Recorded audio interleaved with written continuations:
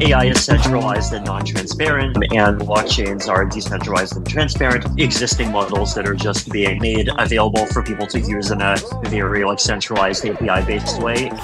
This this is like very dangerous stuff. Today we have the tech to like do some pretty bad things, kind of on borrowed time.